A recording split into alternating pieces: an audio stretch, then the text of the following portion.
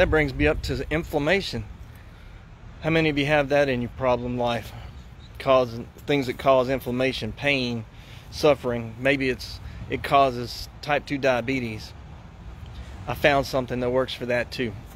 Let me tell you how it works. It's called Immunophane. My story is I've been battling with my type 2 diabetes for years. And I found this product. It was introduced to me by a friend and I tried it out.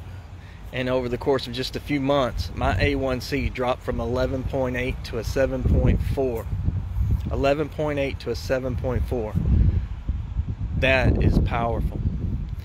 It got rid of inflammation in my body.